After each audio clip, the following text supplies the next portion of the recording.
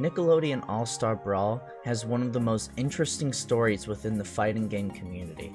A game praised and hyped by a massive amount of people, only to be abandoned by the masses after launch. I am here to try to answer this dilemma once and for all. All Star Brawl was announced around July with an announcement trailer with a lot of excitement. One of the biggest games was going to be getting their last update on October 18th, 2021.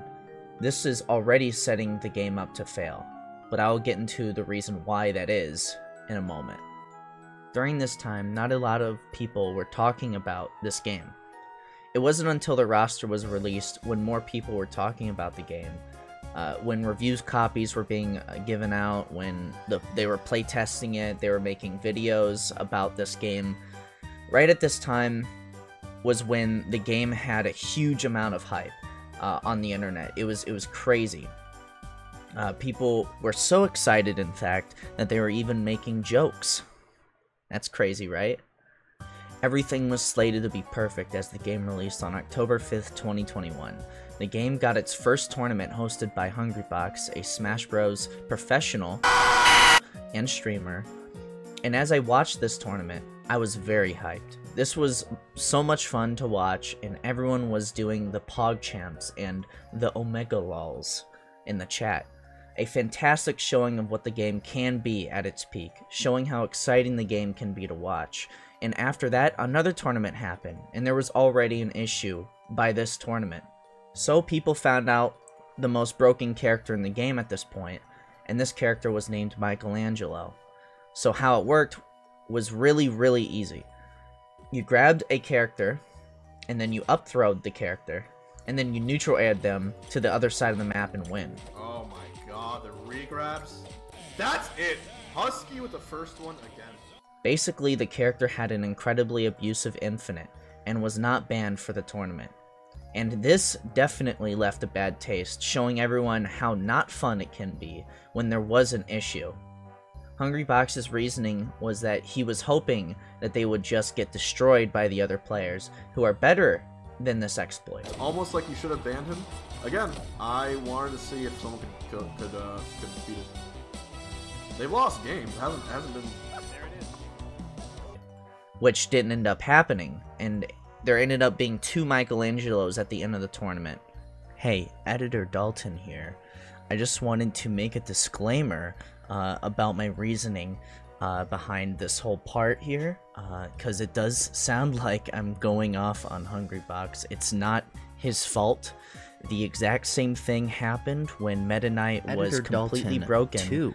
Uh, I just Smash wanted to Bros. say Brawl. that I also saw how quickly uh, that companion seed um, died. note part Uh, so. I'm just trying to give an Uh, example of I just wanted to just say something that like uh, this even though that happened yes, technically is Meta also could be possibly a reason why the downfall uh, of yeah, I think Smash this Bros. is Brawl. downfall Uh, there was a lot of three or four game in general, even though it did to say, uh, that, completely fixed, uh, which is good. wobbling Hey, as it well. is something that did happen. are fake uh, competitive not contribute to any it, it happened right, I right around the. Smash And sadly, Melee like, here. sadly, this It is happened, and was, yes, banned, but the Knight could be contributed uh, to throwing it in there, talking about even when uh, on any this is of about, like, Ice, the character Ice kind of Ice had an infinite after that, which should be most people as an considered example it of as how easy Time this could occur. They didn't But show up with just so there's actually said that they it was banned pretty much. Unless so I can't necessarily say that as organizer or whatever, but, but true. most of them I'm uh, pretty sure I will say is Uh, that the I um, I'm not the wobble. go off on Hungrybox or anything, and uh, I don't stand by anything I say whatsoever other than um, uh, I don't know. Meanwhile, the normals, who knew these 90s cartoon characters being in the game altogether, gave it a shot. Well, it did not turn out so well. Uh, and then the Smash Bros. community uh, just stopped talking about the game. And then the final update for Smash Bros. came out, and then everyone stopped talking about it. The only people who were left uh, were the people who disliked the game. Editor Dodson 64 here. It's all good. I got pizza now, so everything's right in the world.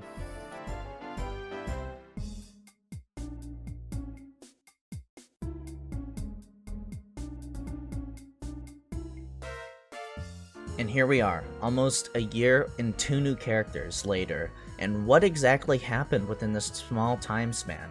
There are a lot of details I left out purposefully, which we will dive into each one.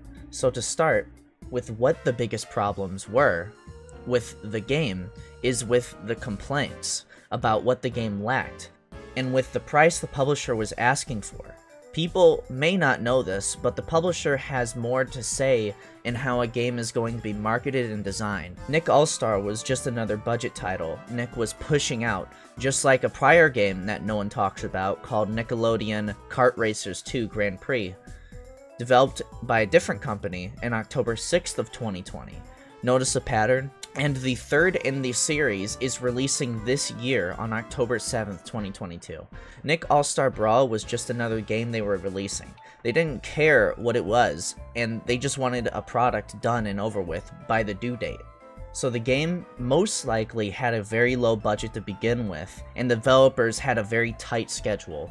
This game had no choice other than to be what it was as it launched. So, what were the complaints when it released? High price, like I mentioned, lack of content, like I mentioned, no voice acting, hard to tell who is who if you are playing Dittos, lack of distinguishable music tracks, and lack of good levels that could be played at a tournament level. The online lobby was buggy when it came to playing privately, and whatever else you can nitpick about. Let's just say people wanted everything Smash Bros. had, plus $10 and a Switch. I completely understand these complaints. All of this was entirely the publisher's fault, not the developers. They did what they could with what they were given, and they still are working on it, but this is not the only issue surrounding the game. Also, I just want to mention before I move on to what I'm about to say, I would like to point out that this is entirely speculative, as I do not work at Ludosity, so there is no way for me to know whose fault it is. Just an assumption, as publishers most likely have no idea what Smash Bros. is other than what they saw their siblings or family members playing or something.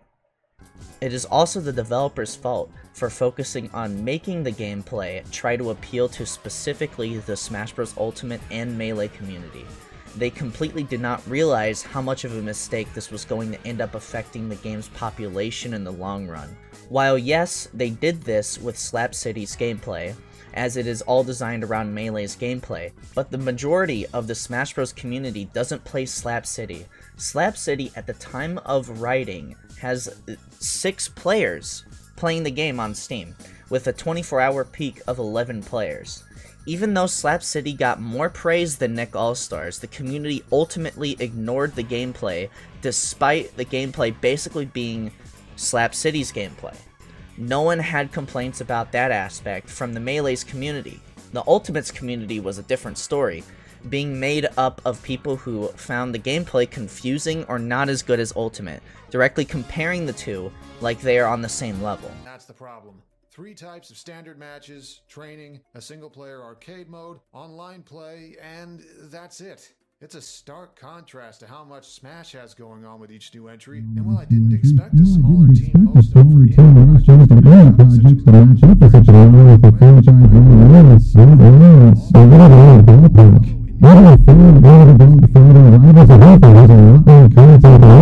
the normals who are not into fighting games uh, plays Ultimate because it's the most recent, most sold in the series, and their kids have it on their Switch. Uh, played played Nick All Stars with confusion.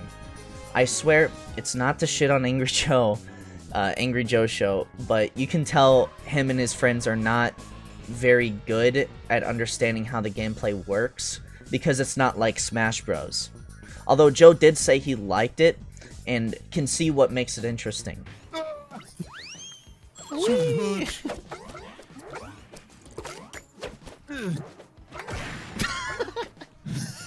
oh what? he picked you up with your clap. What did you guys think of it, Zero Flippy? Yeah, what do you guys think? Um, uh, obviously, you know, it's a lot of uh, obviously it's a lot of fun with um, you know, friends and and everything, and obviously I think because we're on Twitch and everything, we can get chat involved, mm-hmm. we can make mm-hmm. predictions, and obviously that's a lot of fun. Yeah, but that's a lot obviously of fun like for its that. price tag, it's just way too overpriced for what it is. Um, obviously not finished, but yeah, like if it's on sale, if you can pick it up for like I don't know, fifteen or something, you just want to you know play with your friends sometimes, then yeah, I mean go for it, but definitely not at the price now. Uh, for, for me, I don't think this is probably like a buy a game at, at the current price it is, even though it's like 20% off, because there's a lot, a lot of features missing here. Like we can't even uh, pick which teams that we are. That's like a huge thing. There's Yeah, when you do 2v2, you can't pick who you want to be with. yeah, there's a, a, a whole bunch of features that I'm missing that is like a must-have to, to even have in the game, and they're saying that they're gonna add voice lines after the fact when people paid probably are gonna lose interest in it. No, that's if they do really really well and in future games.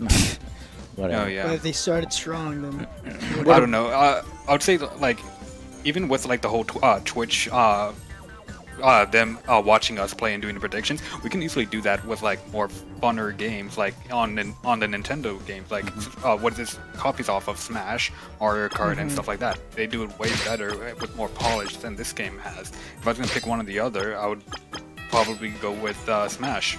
Yeah. Okay. Uh, Joe, what do you think? I would definitely wait for a sell. This is like bare. It's just gameplay. It's missing a lot of things. The four modes that it has are basically the same thing. Just Yeah, the different types of sports, they're all- just because It's this like, oh, this is a football, ball. throw it in the star. Oh, this Yeah. is a little soccer ball, throw it in the fucking star. The Tommy ball, yarn ball, throw them in the fucking star. So it's the same mode. Uh, it is I like it a little better than you I guys. I expect. think that it, it is the core gameplay, as they say, is fun. The animations are funny. The move sets are really fun. Uh, but everything else is just as they said. It's bare bones the video game. Uh, it's there's lack. I can't believe you get all these licenses and you don't at least have one or two lines from each of the characters. so yeah, uh, if you're a fan of Smash Brothers, you're gonna like it because it's a it's a new Smash, right? With uh, nostalgic characters. It depends on how nostalgic you are for these characters and how fun you find your particular main and finding who you're best with. The problem is that these Nick characters aren't video game characters, and you do not know what they can do. So, when someone dies with a character because of a character with a bad recovery, they get easily upset. Also, with the gameplay being complex right off the bat, and the character's moves being very different from what Smash Bros. players are used to, a lot of people are easily put off by it. And by the time it would take you to get used to the controls, people just dropped it.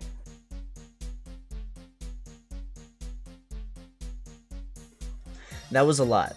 There are a lot of layers to why this game failed, like I said.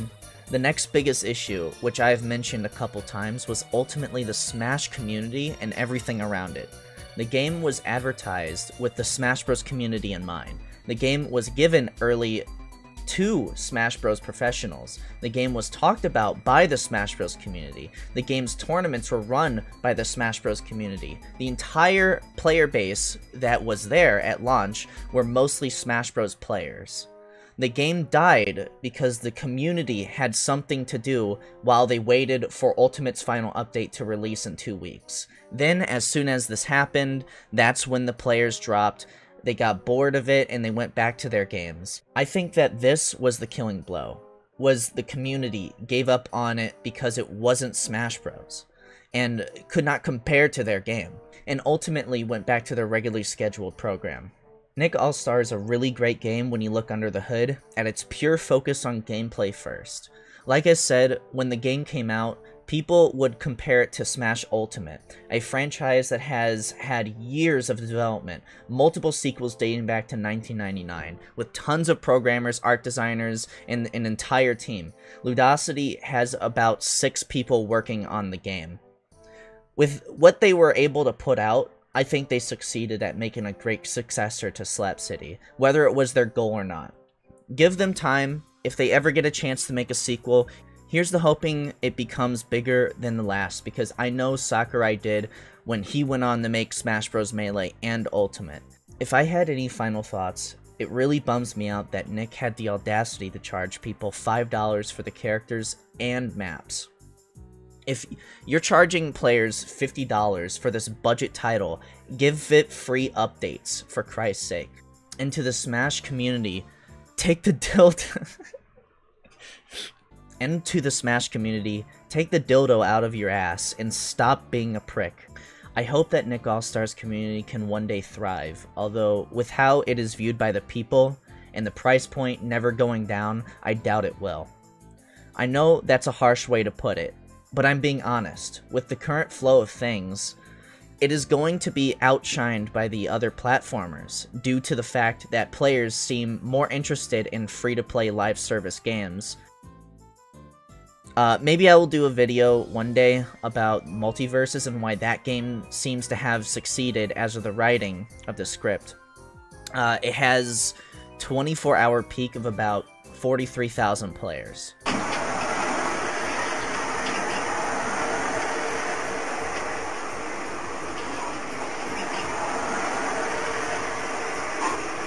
Anyways, please feel free to complain in the comments on your thoughts and why I am wrong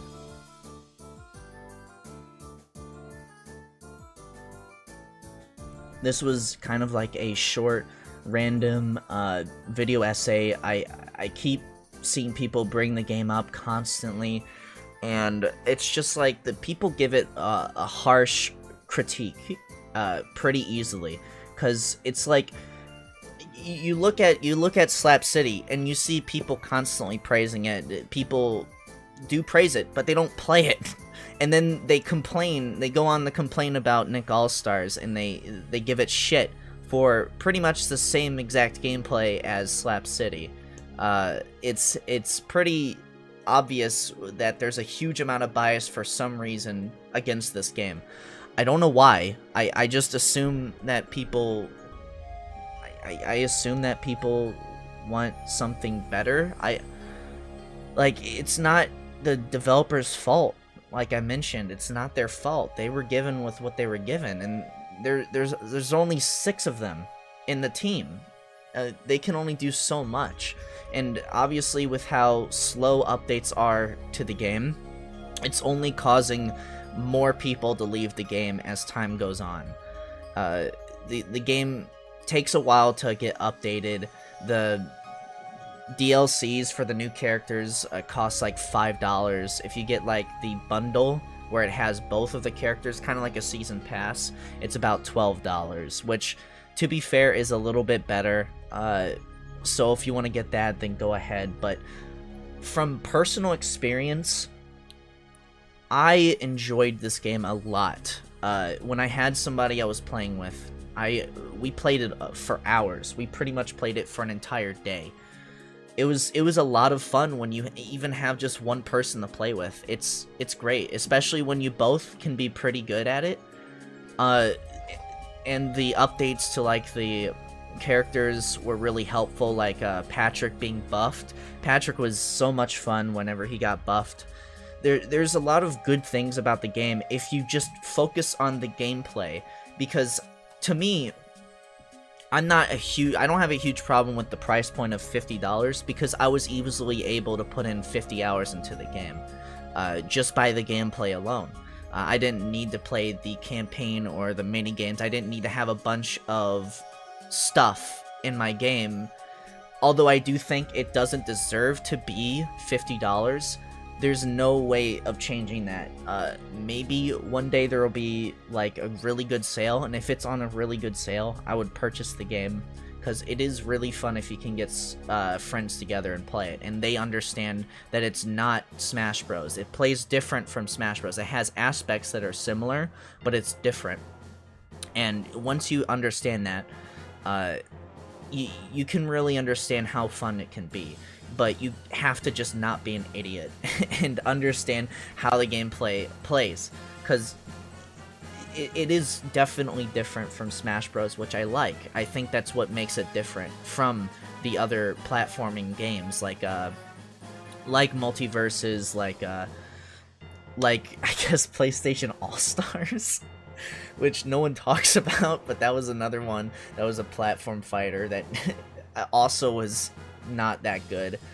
Uh, but that honestly, PlayStation All Stars is more similar to MultiVersus now than PlayStation All Stars was. I, it's interesting. I don't know. I I can definitely see huge amounts of similarities with how there's leveling up for every character. You can level them up to get different stuff going on. Uh, that's just like MultiVersus. So I can definitely tell there is a little bit of uh, of similarities with PlayStation All Stars for that. The difference being that that's free to play and it's in the post Fortnite reality where you have these free to play live service games like Fortnite, uh, and everybody will it, that's more easily can get a bunch of players on it. Although there is a really good example of a bad game that is also free to play, but also doesn't have the numbers that it should have. Uh, one Halo Infinite's multiplayer has a play. Ah, shoot. Halo Infinite's multiplayer has about 4,000 players right now. 4,000, and then the 24 hour peak of about almost 6,000. So, this is a really good example of a game that can fail as a free to play market system. And that's entirely due to the community within Halo Infinite. That doesn't uh, uh, imply that the Xbox version is the same. The Steam version, there's about 4,000, which is way, way, way lower than it was when I was playing towards around the launch period. Uh, but yeah, that's the end of this. I just wanted to ramble on a little bit after I finished the script. Uh, it's a little bit of a botched script, but I just wanted to get the word out there. I think that the game deserves better, definitely, than it's being treated, and that's I I read on Twitter there was people there there was a really good Twitter post out there of somebody talking about their experience with trying to play this game because there isn't really a convention for these kinds of games right now, uh, and Nick All Stars is sadly bundled within the Smash Bros community uh, at these at these events. So like SmashCon or something, they get a small little section that was dedicated to uh, Nick All Stars players, and they also did their tournaments at like these um, Smash Bros orientated tournaments. So they they have they have not been treated well at all by the Smash community, and a lot of people will share their sentiments towards the com- uh, the competitive scene. So I, I, I do hope that it gets better. I, I, I definitely don't think you should blame uh, Smash Bros. commentators or streamers for the downfall of the game. It's not their fault. It's the Smash Bros. community. The people who aren't the people talking are the people who are not interested in the game at all. They they don't feel they uh, the Smash Bros community, like I said, are definitely the main issue, but it's also the developers who orientated towards that community, which was, if you think about it in retrospect, it wasn't a good choice because these Smash Bros players are just gonna go back to their game uh, after they get bored, and they did. They definitely did, and it shows. It does have more players currently. Smash uh, Nick All Stars has more players than Slap City, but that's because it's a recognizable IP. Uh, it has more people kind of in it, and whenever someone mentions it, some people may be interested in popping back on. Uh, when they released Hugh, I, I, there was a resurgence in some players as well. So there is a small community of it. It's just there. It, it's uh, it's up to us to make the game populated and a lot of people don't feel the need to do so because they're not as interested and they don't have friends who are interested either despite the game being on switch and also being on steam. Uh, but whatever i guess you know just it's just a it's just another platform fighter it's never gonna be as good and then people were giving uh shit talking uh nick all stars when MultiVersus was coming out then people had to defend the game again uh and it's just like it- it- Nick All Stars definitely does not get any kind of praise. It seems it seems it's just either defended but not praised. It's defended but not praised. That's probably the best way to describe the current state of the game. Is that people don't want to play it, and uh, I guess that's due to lack of content in the game for people to have like something like you know smash ultimate having about like 50 characters or something so like they always have like ooh ooh touchy candy ooh ooh yum kind of stuff right anyways that's it